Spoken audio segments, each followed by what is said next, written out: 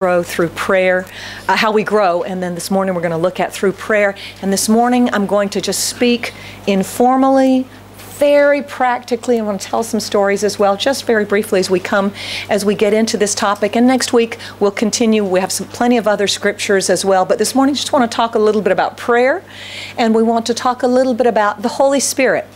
How does the Holy Spirit help us in prayer, and what is His part in prayer? So we look at this, and Amy just just follow along with me. I may be jumping a little bit, but she'll she'll be fine. So we come this morning to we return to our series on how we grow as Christians, and I've included all of this because prayer, Paul says, as we'll look in just a little bit, um, a little bit later, Paul says, pray on all occasions, in all ways, in all manners. And I, I liked, I wanted to include that because it's a reminder to us that prayer does not come in one particular form. If you come from a formal church background, then you have a strong idea or a strong image of what prayer should look like, right? It should be a little formal. You should use special language. Um, depending on your church background, you should use King James English to pray. Um, and I, I, was thinking about it. You know, my father uses King James English to pray, not because he's trying to impress anybody, but you know, he's read the Bible in King James for so long. That's kind of his prayer language, I guess. Um, but it doesn't require any special language. And Paul says, pray in all manners of prayer. And I was thinking about that. What is your what does your prayer time look like? What do your prayers look like? Do you save them for Sunday? Do you save most of your prayer time for Sunday morning? Do you have to have a place where you sit down and you pray for a certain amount of time? It's like, okay, I give this much time. Now, there's nothing wrong with that. And it's good to have some discipline in our lives with prayer, or else prayer just kind of goes, right? But Paul says, pray on all occasions. It's to be, it's to be part of our lives in many different ways. I was thinking about myself and prayer, and honestly, for me, there's a prayer that I pray so often. I, I really do. I really pray this way, and it's not taking the Lord's name in vain.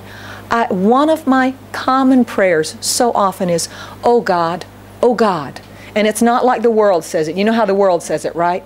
And oh, I hate that. Ch parents, if if your children have gotten used to saying it like so many people say it, and they use the Lord's name, or if, if, if you've kind of gotten to that habit, oh God, oh God, let the Lord help you to remove that from your vocabulary because that's we're talking about our God. We're talking about our God. So I'm not talking about it in that way, but truly from my heart, one of my prayers very often, oh God, and sometimes, oh God, help.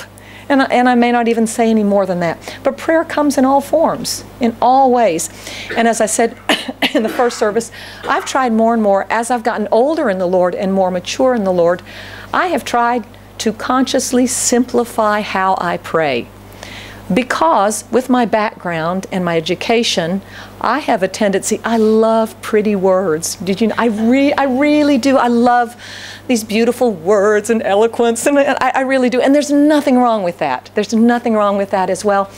But I've tried to simplify that in my own life when I talk to God so that I'm really just speaking how I am and what I am to God. Oh, oh God. And sometimes I'll tell him, God, I don't feel like praying today, but I know I should. Help me to pray today. I do I really pray that.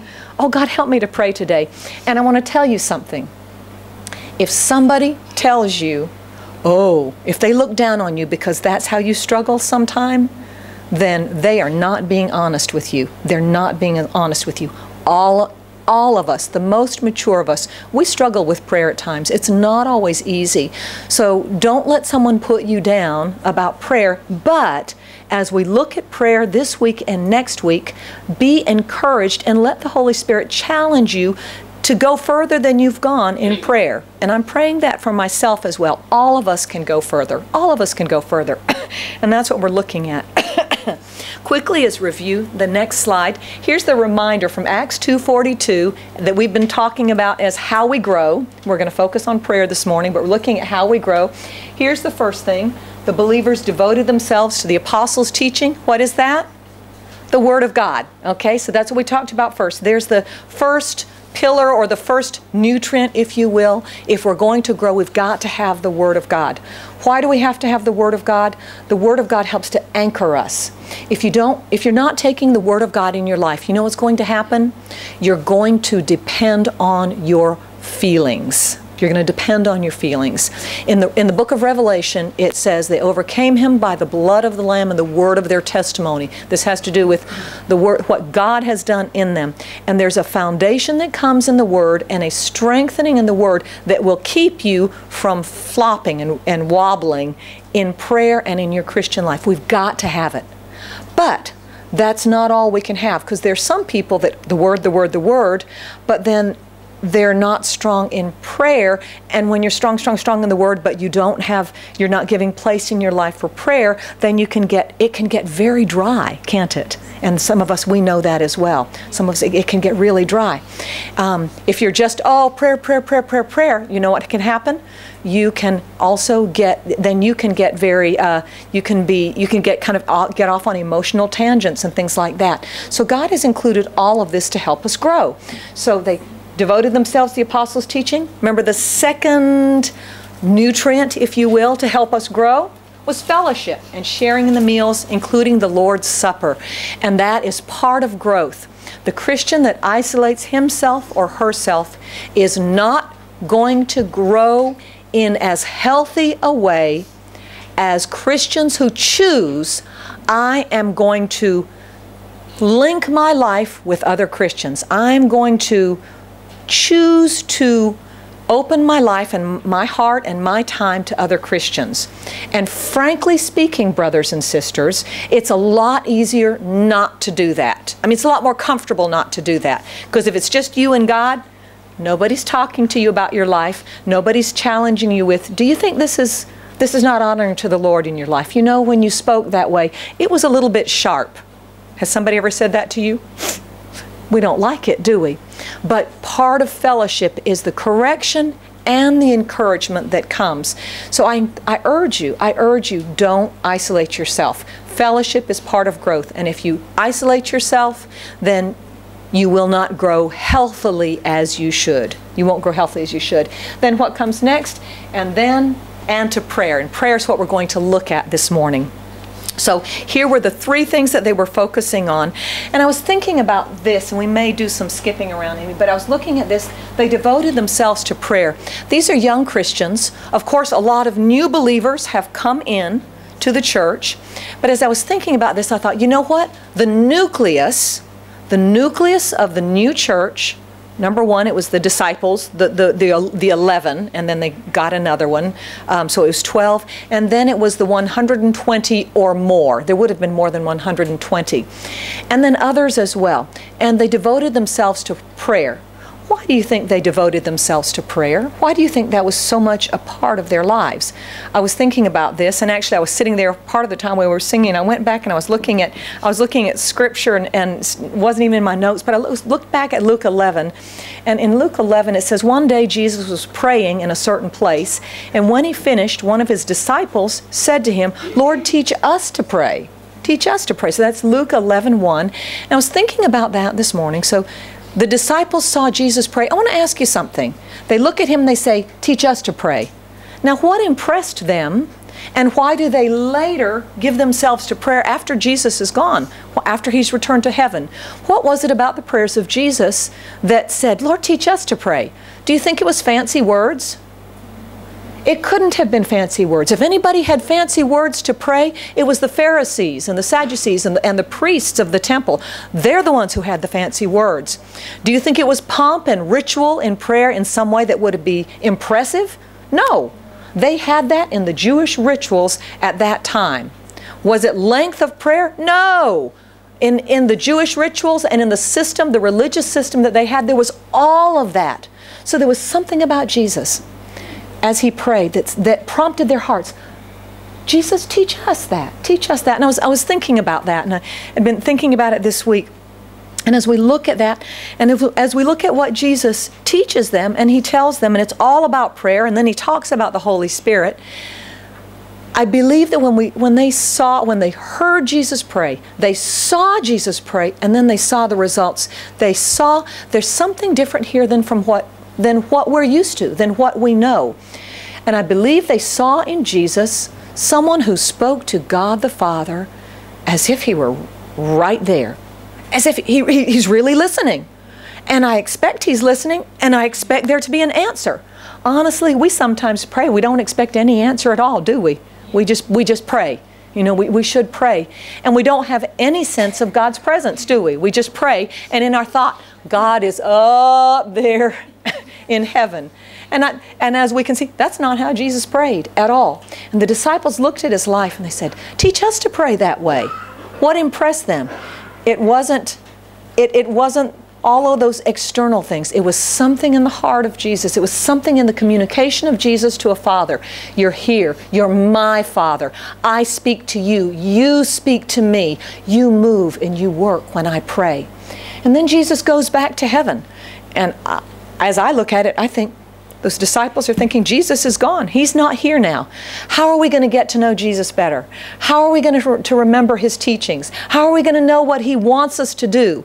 How are we going to follow Him? How are we going to have power to carry out everything that He's called us to carry out? We're going to have to talk to Jesus. We're going to have to talk to Jesus in the same way that Jesus talked to the Father. And they devoted themselves to prayer. They devoted themselves to prayer. God help us as present day disciples to do the same thing. To do the same thing. As I said when I began, I'm speaking very practically this morning, and I'm going to be speaking very practically next week as well, just as we talk about prayer and how we pray. Um, I'm going to click over. Uh, uh, sorry, just the next slide very quickly, and we might come back to it next week. Um, but here are some of the results of their fellowship, of their word, the being grounded in the word, and of prayer. Sense of awe came over them, and awe means a reverence and an, a, a reverence due to the sense of God is with us, God is present. Do you, know you know what I mean, don't you? Sometimes when we're praising the Lord and worshiping, it's often maybe when we're singing or during times of worship, and there's that sense in your heart, right? There's a sense in your heart, oh God, you are here with us now. You know what I mean, don't you? And it's not just in my head, God is here with us, He will never leave me nor forsake me, but there's this sense of, you're here. And that, that describes awe. That describes the reverence of acknowledging that God is here. So there was this. Out of that, then what else happens? There are miraculous signs and wonders. Whenever God is acknowledged, whenever God is given his place, God will do miraculous things. He will. That's what he does. And then after that, what comes next? I love this. Verses 44 and 45 jealousy, selfishness, possessiveness, all of that disappeared. Okay? All of that disappeared. One of the true marks of the presence of God in a gathering and the move of God and the work of God in people's hearts and lives is we will give up selfishness, jealousy, envy, possessiveness. Whatever we have or whatever we don't have, those things disappear when God is at work and our hearts and our lives are open to Him. Why? Because God is a generous God. He really is. He just pours out so freely on us. Doesn't have to, but he loves and so he loves us and so he does. And when he does that, and when he when he does that, when he's active in our lives, he does that to us, doesn't he? I don't know about you, but sometimes I feel like it's mine. It's mine. And I don't I'll be real honest with you. Sometimes I don't want to share. And you know what? You don't either. Because we're human. We're human. And that's why we need God to work in our midst to change that. Because you know what? I don't know about you. When I see it in myself and I really see it, it's really ugly. It's really ugly. And I don't want to be that way. And I know you don't want to be that way either. But only God can change that in our hearts and lives. So we see that as a result. They sell things, and then you'll notice that there's true worship. There's sharing, there's joy, there's generosity, and then after that, what comes next? They're praising God. There is not, it's not, there's not, have you found that when God is moving and working, He takes care of a spirit of grumbling and complaining? Have you found that to be true? Do you ever, you know what, when Betty and I used to, when we lived in China, Sister Betty and I lived in China, you know, this was back in the 80s and the 90s. Keith knows what that was like. Sometimes we'd get together, we'd just complain. It was, it was tough. It was hard. And we'd start complaining. And finally, one day, Betty said, I'm so sick of this. I looked at her, I thought, what are you talking about? She said, all we're doing is complaining. And I thought about it and I thought, oh, that's true. That's true. And so and so we said, Lord, help us. And she said, okay, after one complaint per day, you got to stop. She said, and I'll stop too. And you know what? It was really hard. It took the help of it took the help of the Holy Spirit. It really, really did. But when God is at work, and we're laughing, but honestly, it's true, isn't it? Yeah. It's true. But when God is present and when He's working, He He does, He takes care of that. He really does. He He He puts a check on our on our hearts and spirits and on our tongues as well. And so they're enjoying this, and then as a result of that, 47b, the Lord adds to the fellowship. And that's part that grows out of, as they themselves are growing and taking in of the Lord, then this overflows in the lives of others. That is why, brothers and sisters, that is why. And part of that is prayer. So we're focusing on prayer just in the short time that we had left. And I told you I was going to tell you some stories, but we turn, next slide. we turn, that is why Paul talks about, because there's nothing else that will take its place. This is why Paul says in Ephesians 6:18 in the first part, he says, "Pray in the Spirit on all occasions with all kinds of prayers and requests." When Paul says pray in the Spirit here, because there's nothing else that will take the place of praying in the Spirit, is he talking about speaking in tongues here? He probably includes praying in tongues and the language that the Holy Spirit gives you as you are filled and then refilled um, with the enabling of the Holy Spirit. But it's not just that. It also means under the control of the Holy Spirit, guided by the Holy Spirit, led by the Holy Spirit. I challenge you.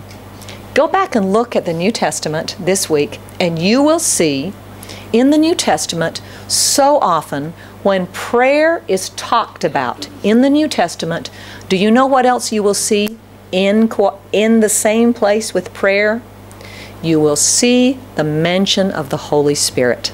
The mention of the Holy Spirit. Why? Brothers and sisters, the realm of prayer, it's the Holy Spirit's realm. It is. It's the Holy Spirit's realm. He's the expert in this area. And that's why Jesus promised, I'm going away, but I'm going to send you another comforter, another encourager, a strengthener is what it means, a helper, one who comes alongside.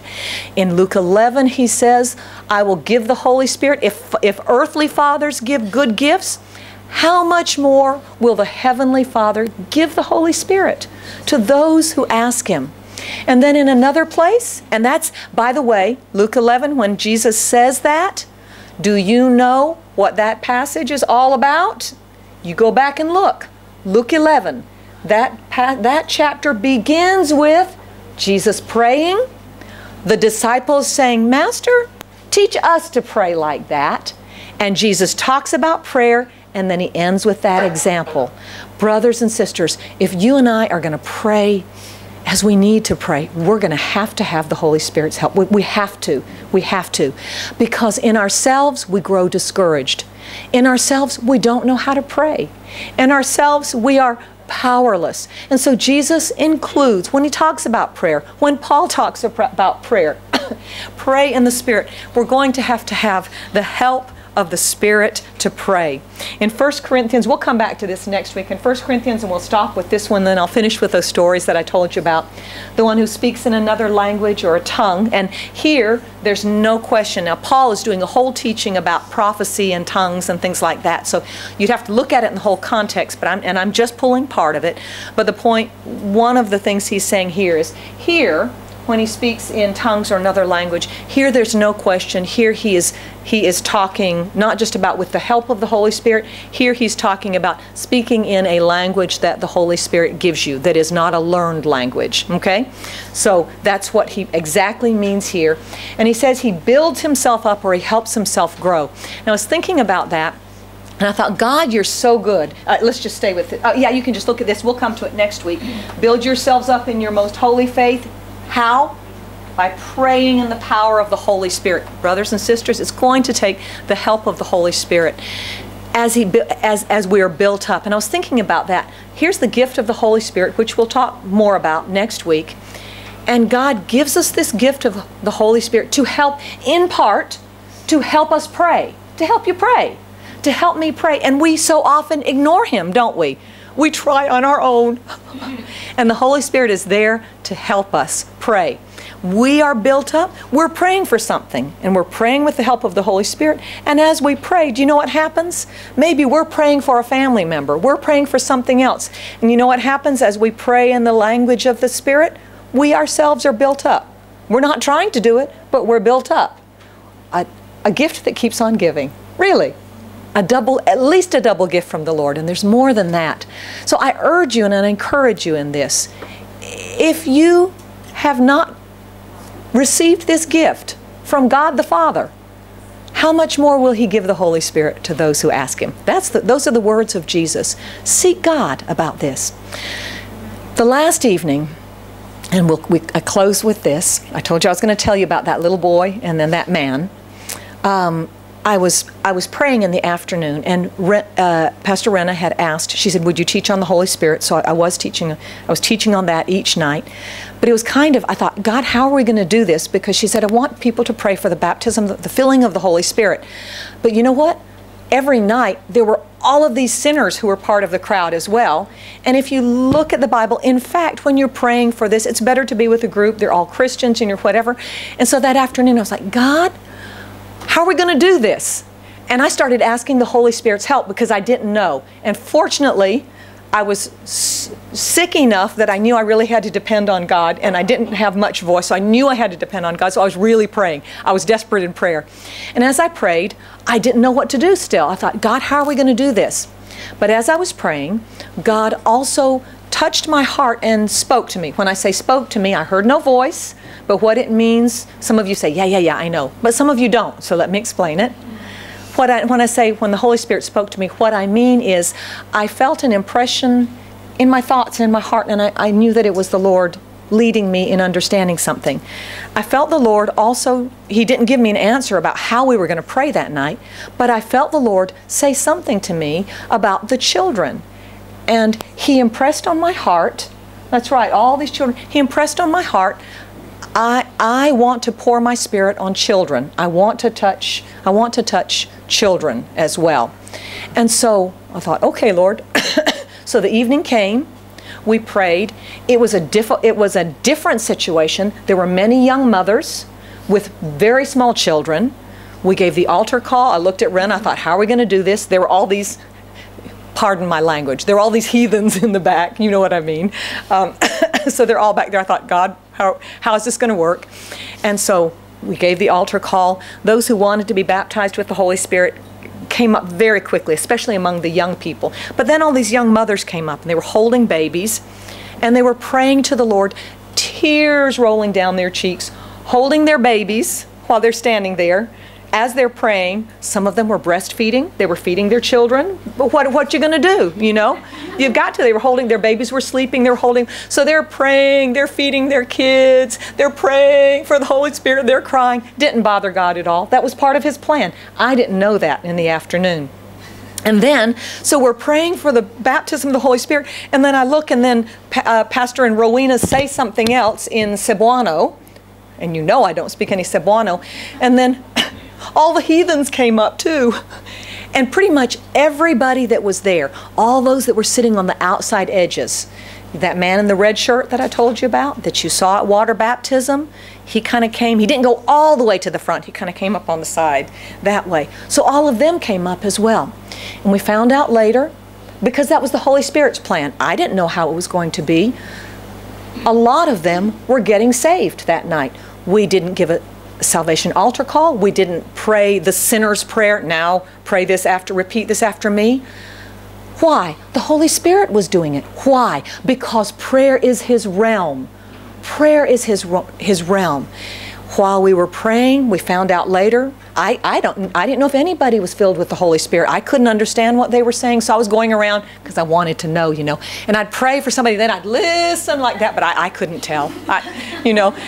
But as I found out later that there were, that God gave some visions of heaven as they were filled with the Holy Spirit. There were others that described just the, the like, like cool water being poured over them as they were refreshing. We didn't know any of that. But see, prayer is the Holy Spirit's realm. It's His area. It's His area. And He doesn't always have to tell us what He's doing. So that's why we pray. That's why we pray. So we're praying, we're praying, and then all of a sudden, and I wish I wanted to take more pictures, but to tell you the truth, I didn't want to interrupt the Holy Spirit. I didn't want to grieve the Holy Spirit. I really, I was like, I wanted to take pictures so badly, but I thought, no, never mind. I'll just tell you about it.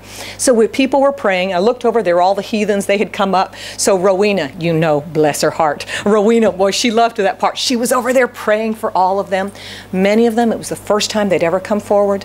The man in the red shirt that was baptized in water, okay? His name was Alex. He was a great persecutor of the church. In the barangay, he would laugh and mock them as they worked and prayed in the church. Laugh at them publicly. Tell other people to laugh at them. He was the chief drunkard and gambler in their village. And he would lead all the others. He had all sorts of fighting gamecocks and things like that. And I didn't know what God was doing in his heart. And then when we had the water baptism, because I, I, didn't, I, I, he didn't speak any English, and so we were just praying, but the Holy Spirit was working.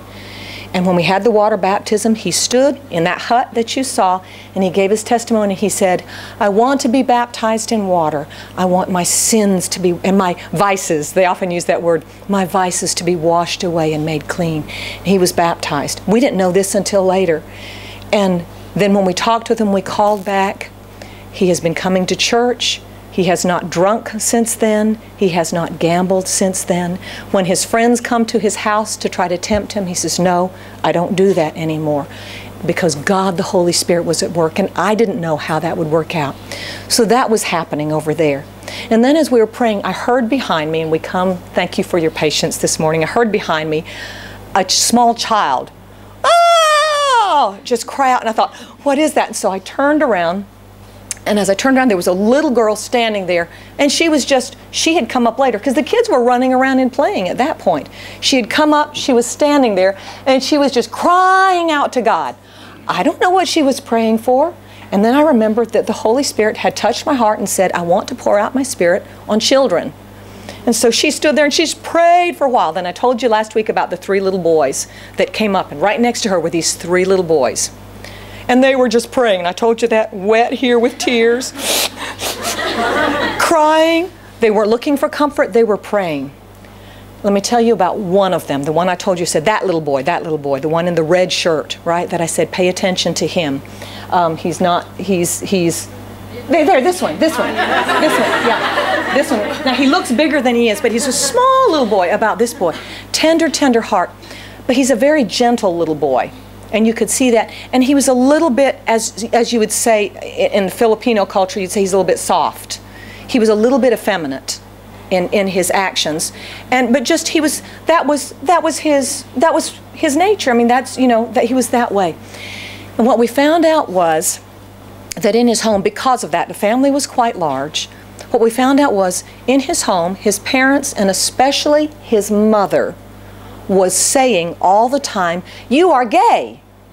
You are gay. You are gay. And he accepted that.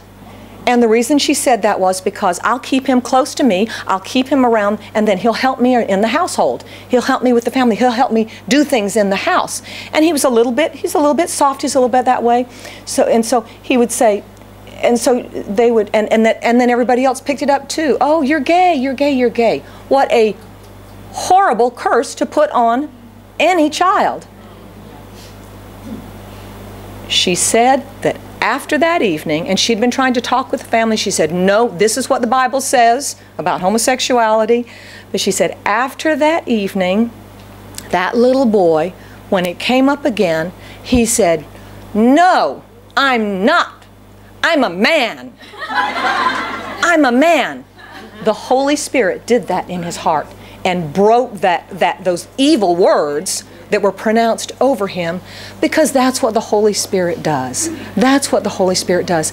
And brothers and sisters, as we close now, thank you so much for your patience. And we don't know what else was done. But I want to say this to you. This realm is the Holy Spirit's realm in your heart, in your life. How could somebody, how could a mother say that? But you know what? Some of you have heard terrible things in your life as well. You'll never amount to anything. You're worthless. You're a loser. Nobody will ever love you. Who could this, that, or whatever? I want to tell you something this morning. Those things are not true just because somebody has said it. You let the Holy Spirit work in your life and break you and break that off of you and break that from your life because the Holy Spirit is God and He works miracles. If He could take brother Alex now, whom you will meet in heaven one day, and just like that, without publicly praying a sinner's prayer, change him from his addictions. And those, those of you that have been caught in, in, in, um, in alcoholism or, or, or gambling before, you know the addictive nature of that. God set him free. God can do miracles in our lives. Give Him place. Give Him time to work in your life. He's God the Holy Spirit. This is His realm. This is His area. The things of your family, the things that you think, well, that's just the way it is. My family was this or my family was that. Listen, brothers and sisters, you have been brought into the family of God. You have a new family. You have a new family. And in your new family, your life is lived in the power of the Spirit, and those things of the past that you thought, I'll always live with this, I'll never be different, this is part of my life. Those, those things need not be because you're in a new family, and it's God's family. And it's a family where the Holy Spirit works in your heart and your life. Give Him place, give Him time, pray with Him. Let Him help you this week as you pray. You, you get tired and you feel like going to be tough to pray, ask the Holy Spirit for help this week. Amen? Amen? Let's close in prayer. Lord, we come to you right now. We thank you so much for the gift of the Holy Spirit. Jesus, Lord, and Father, thank you so much for keeping your promise to send the Holy Spirit. We're grateful. And Holy Spirit, we want to give you your place in our lives. Help us, Holy Spirit. Help us to pray. We are such wimps in prayer. Lord, we really are. We really are. We try, we fail. We know we should, we don't. Oh, help us this week. Help us this week. Don't let the devil win in our lives this week in the area of prayer. But Holy Spirit, help us to give you place and work with you and pray with you and pray through you pray through us this week. Make a difference in our lives. Make us what you want us to be. Break from us the bonds of the past, the, the words and the, the things that have been spoken over our lives that we thought, well, that's just the way it is and that's just the way I am and, and I'm just I can't help it. That's the way it is. Oh, Holy Spirit, Holy Spirit, make a difference, make a change as we submit to your work in our lives. In the name of Jesus we pray. Amen. Amen. Amen. Amen.